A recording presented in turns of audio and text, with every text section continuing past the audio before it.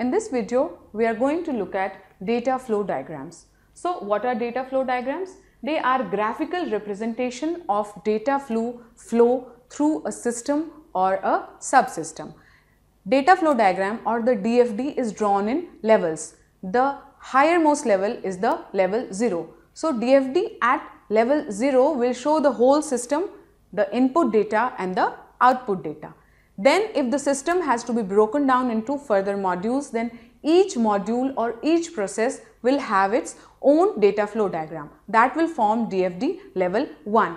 Then that can be broken down further into level 2, level 3 as per the requirement. So that is the complete data flow diagram. Once the data flow diagram has been drawn, the system analyst is very clear about what all data are being handled and how they are flowing through the system. Combined with the flow chart, data flow diagram helps in understanding the complete flow of data and processes in a business problem.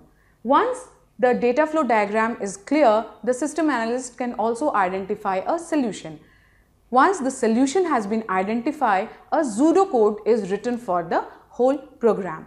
In our next video, we are going to cover what a pseudocode is.